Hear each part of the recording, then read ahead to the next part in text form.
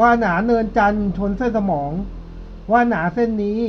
หมายถึงการทำงานต่างประเทศ การได้คู่ต่างชาติ หรือลาบลอยลาบลอยที่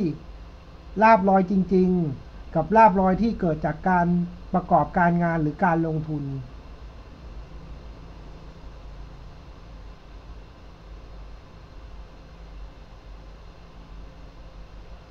มีเส้นแบบนี้ทั้งสองเส้นด้วย แสดงว่ามีได้หลายครั้ง หรือมีได้บ่อยๆ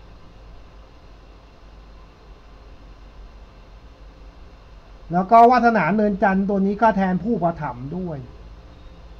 แต่การอุปถัมภ์นั้นไปไม่ถึงที่สิ้นสุด ไปแล้วชนเส้นสมอง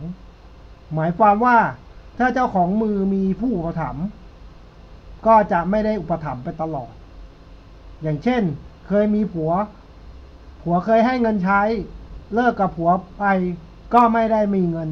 จากผัวที่เคยให้นั้น